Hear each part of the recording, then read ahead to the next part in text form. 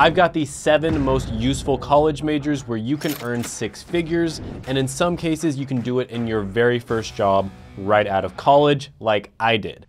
And the first one on the list is going to be a tie between statistics and mathematics. So I know the moment you hear mathematics, you're probably gonna be afraid, but I found this really good quote. It's mathematics is not about numbers, equations, computations, or algorithms. It's about understanding. This is by William Paul Thurston. So the way you think about mathematics is it's kind of like a Swiss army knife, right? A Swiss army knife has multiple tools that can be used for many different purposes. And in the same way, mathematics has a wide range of techniques that can be applied to many different fields. So whether you're interested in business, finance, computer science, engineering, or even art, mathematics has something to offer. So for instance, there was a mathematician named James Simons who became one of the most successful hedge fund managers on Wall Street. So let's go ahead and look at the statistics with this one. I'm not gonna spend too much time on it, but I am gonna use the statistics from my college degree ranker. And this is the newest 2023 version of the college degree ranker. So the early career pay is going to be $57,000. The mid-career pay is around 102,000. The demand score is off the charts at 120 out of 100, and the meaning is about 45%, which is decent. And the total amount of bachelor grads per year is about 17,000. So let's quickly talk about the pros and the cons of getting a mathematics or statistics degree. So first of all, your skills are going to be very versatile. Mathematics and statistics related skills can be used in just about every business, just about every industry out there. There's also a high demand for your skills. There's not that many people who are good at mathematics,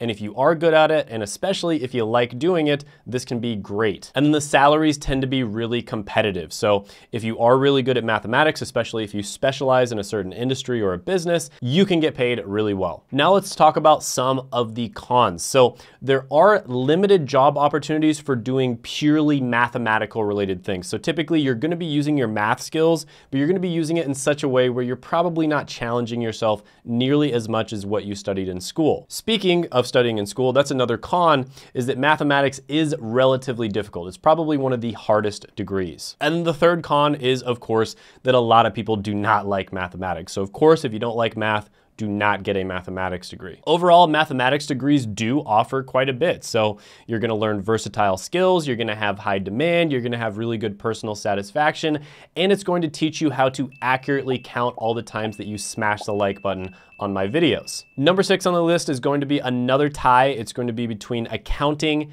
and finance. Now, accounting and finance are both going to have to do with the financials of a company, but typically accounting is gonna look at the ins and outs that happened in the past, whereas finance is going to try to predict or model the ins and outs that are going to happen in the future. So accounting tends to be a little more versatile. There's typically more accounting jobs, but finance jobs tend to be higher paying, but they're also more competitive and there's definitely some downsides. And I really like this quote by Warren Buffett. It goes, the stock market is a device for transferring money from the impatient to the patient. And I definitely agree with that as messed up as it is. I wish it wasn't like that, but that is absolutely true. All right, so let's look at the stats really quickly. The early career pay is about 55,000. Mid-career pay is 98,000. The demand score is gonna be 133 out of 100, which is amazing. The meaning is 40%, which is on the lower side. And the bachelor grads per year is about 37,000. And this is for the finance degree. I'm just using that one as an example. But the accounting degree has really good stats as well. So some of the pros of getting an accounting or a finance degree would of course be high earning potential. Especially with a finance degree, you can make a ton of money. But even with an accounting degree, there are positions out there where you can make a lot of money.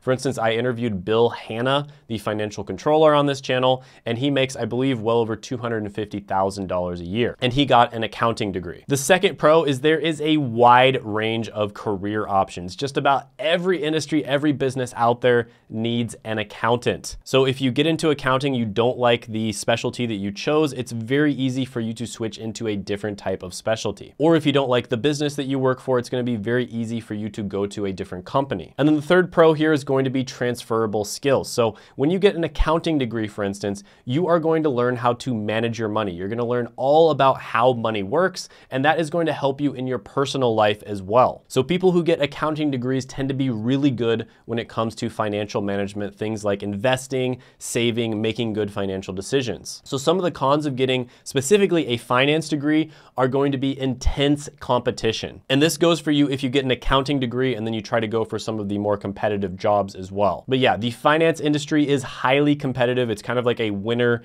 takes all zero sum game type of industry. So there are people who work in finance that make tens of millions, sometimes even billions of dollars a year. There's hedge fund managers that make billions of dollars a year. And then there's a ton of people who work in finance that don't last very long. And then the second con is long work hours. If you're going to be working in finance, chances are you're going to be working 60 to 80, maybe even more hours per week. And the and then the third con is the stressful work environment, and the risk of burnout. Number five on the list is going to be management information systems. Now, this one is technically a business degree, but it is a business degree that has technology related aspects to it. And it tends to specifically focus on information, AKA data. And I've talked a lot on this channel about how data is more valuable than even oil or gold. And it's definitely kind of messed up how they've been collecting our data without our consent, like basically semi illegally, but they're, you know, no one's probably going to get in trouble for it, but they definitely were not supposed to do it, but they did it anyways. But yeah, that's a topic for a different video. So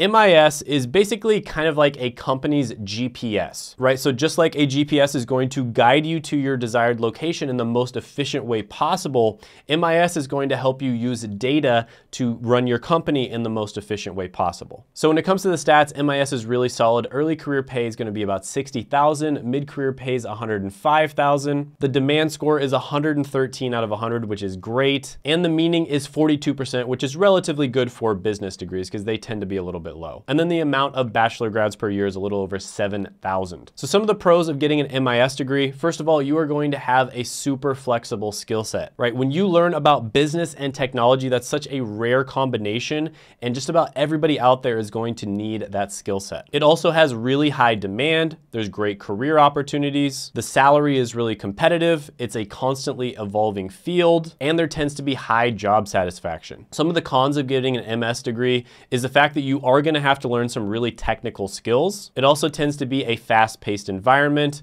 there is a risk of burnout. And because of the fact that you're kind of working with data, it is relatively limited when it comes to creativity. Now, one thing I will say about technology related careers is a lot of the time you can get into them without a college degree. Now, that doesn't mean college degrees are scams by any means. They can help people get into it, but you do have to take it on a case by case basis because for some people, going to a boot camp, getting a certification, maybe, you know, doing self-training even can be a good idea. For instance, I've interviewed a ton of people on this channel that have gotten entry-level technology-related jobs, like James, for instance, who was able to get a job in two weeks, and he didn't even have access to a computer. He literally used an iPad, and I will link that so you can check it out if you want to. Number four is going to be computer science, and this is one of the best degrees out there. And computer science, of course, would lead you to going into software development, and there's a quote by Steve Jobs where he basically says, Everybody in this country should learn to program a computer because it teaches you to think. And computer science really is like a toolbox that is filled with many different versatile tools. And these can be used to solve complex problems. But with that being said, you definitely do have to know your stuff. It used to be you could get into software development basically knowing nothing as long as you kind of networked. And now you do actually have to know your stuff. You have to actually know how to be a software developer. You know, there's a really good quote by Pablo Picasso where he basically says, computers are useless. They can only give you answers. And that's actually a really deep quote because basically what he's saying there is where real intelligence lies is asking the right questions. And if you don't ask the computers the right questions, then you're not going to get good answers, right? Garbage in, garbage out. And this is why with ChatGPT, for instance, everybody's freaking out about this thing called prompting. And prompting, what it essentially is, is asking the right questions. And when you ask it the right questions, you're gonna get better answers. Now, when it comes to the stats here, this is actually my number one degree out of like 900 degrees on my college degree ranker. So the early career pay is gonna be about 68,000, mid-career pay is 114,000. The demand score is absolutely off the charts at 154. The meaning is 41%, which is kind of normal for technology related degrees. And the number of bachelor grads per year is about 23,000. So some of the pros of getting a computer science degree, I mean, there is a lot of pros. I mean, high demand, uh, competitive salary, versatile skills, creativity, access to benefits that you can get when you work in technology that you probably aren't gonna get in any other industry. I mean, the list really goes on and on and on. Some of the cons of a computer science degree is, first of all, the curriculum is extremely challenging. It is one of the harder degrees. Another con is the technology is constantly changing. Another con is the job market has gotten more competitive. You really do need to know your stuff and you need to specialize to get a job in software development. And another con is it is a relatively sedentary lifestyle. So you're gonna be sitting on your computer typing quite a bit. Also, many software developers find their job to be relatively boring because they'll typically do like one to three hours of work and then they have nothing to do for the rest of the day, which is a quality problem to have. And I made an entire video about whether a computer science degree is worth it or not. You can definitely check that out. So if you find videos like this informative, by the way, definitely share this with friends and family. That is one of the main ways that people actually find my channel is people find it extremely informative. They think it's super valuable because nobody else is really doing this. This is kind of the channel that I wish that I had at 18, for instance. And so they'll share it with their friends or their family whenever they see somebody who needs to see it. Number three on the list is going to be industrial engineering. And this is actually one of my favorite engineering degrees. And there's a great quote about industrial engineering, which is industrial engineering is not just about manufacturing. It's about improving any system, including healthcare, finance, and even entertainment. And this quote is from Lisa Bosman, who is the president of the Institute of Industrial and Systems Engineers. Industrial engineering is basically a combination of engineering and sort of a logistics slash operations management type role. And an industrial engineer is kind of like the conductor of an orchestra. Just just how a conductor coordinates different musical instruments to make a beautiful symphony. Industrial engineers are gonna coordinate the different aspects of a system in order to optimize its performance. So the stats here are really good as well. So early career pay is $67,000 a year. Mid-career pay is 110,000. Demand score is really good at 101 out of 100. Meaning is 46%. And the bachelor grads per year is about 5,000. So some of the pros here are going to be high demand, diverse job opportunities, high earning potential, problem solving skills, and continuous learning. I guess the continuous learning could be a pro or a con depending on your perspective. Some of the cons here are there is a very high academic demand. Engineering school is no joke. The workloads can also be relatively heavy. There can be high stress levels as well. There is limited creativity in this career, and you're gonna have limited interaction with other people. Next one on the list, number two is going to be mechanical engineering engineering. And a really good quote here is mechanical engineering is the basis of all engineering. It provides the background for understanding and designing everything from tiny micromechanical devices to large systems such as spacecraft. And this was actually from the lead of the Mars rover project, whose name is Adam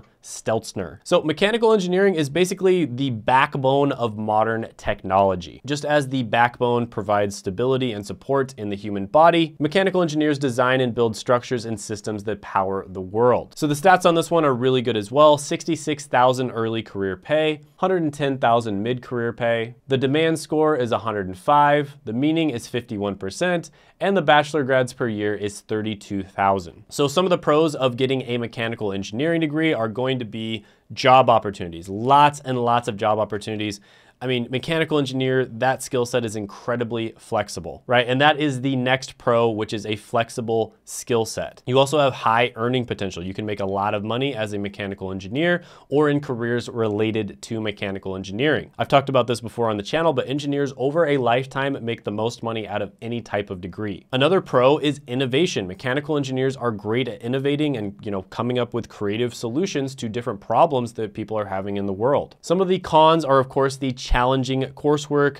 Uh, engineering school is no joke. Like I said, engineering degrees are incredibly difficult. Another con is engineering jobs, especially at the entry level, do tend to be relatively competitive. There's also a high level of responsibility. The work hours can also be long, and you have limited creativity. The next one on the list is going to be a nursing degree or any other healthcare related degree. And nurses are basically like the foot soldiers of the healthcare system, right? They're in the trenches helping people out with their own hands. And the stats on this one are great. So early career pay is 60,000, mid-career pay is 79,000, but keep in mind a lot of nurses work part-time. So it's probably in reality a lot higher than that. The demand score here is off the charts at 135. The meaning is off the charts at 83% and healthcare related degrees tend to be very high. And there are 134,000 bachelor grads per year. So the pros of getting a nursing degree is there's very high demand. The salary is also really good. The job satisfaction does tend to be relatively high, especially in the long run because of the fact that you're helping people out so much. Nursing also tends to be one of the most versatile healthcare professions. And there's also opportunity for continued learning as well as career advancement within nursing. Some of the cons of nursing is it tends to be extremely physically and emotionally draining. There's also quite a bit of educational and training requirements. Sometimes the hours can be really weird. So you might be working like 12 hour shifts